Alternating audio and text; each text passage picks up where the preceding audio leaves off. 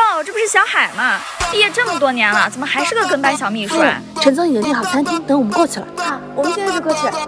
你是陈总夫人，可别是吹牛吧？这么说，五月二十号的同学聚会，你肯定会带陈总来参加的吧？我们夫人和陈总届时一定会到场。陈总，五月二十号你能帮我个忙吗？没关系的，你去陪小海吧。五二零，我和孩子一个人也可以过。真是罕见啊！第一次做人就能坏的这么熟练。哼，陈总的链子还真是只在关键时候掉。我们走吧。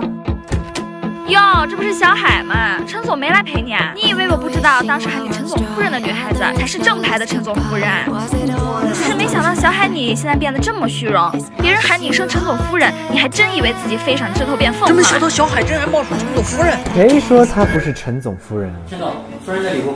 他竟然是江氏集团的总裁江辰。就算我再忙，也会陪你过五二零。原来陈总夫人是江晨的辰，不是豪辰。江氏可比豪辰厉害太多了。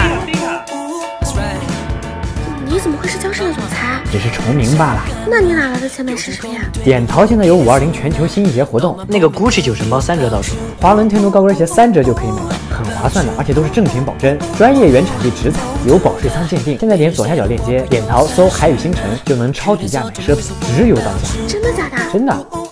早就料到你会假扮子辰。喂，子辰，你能来？哟，这不是小海的秘书吗？骗人是要付出代价的，我现在就要揭穿你们！你不是江氏的总裁，拦不住我的。哼，你说我是还是不是？much guitar.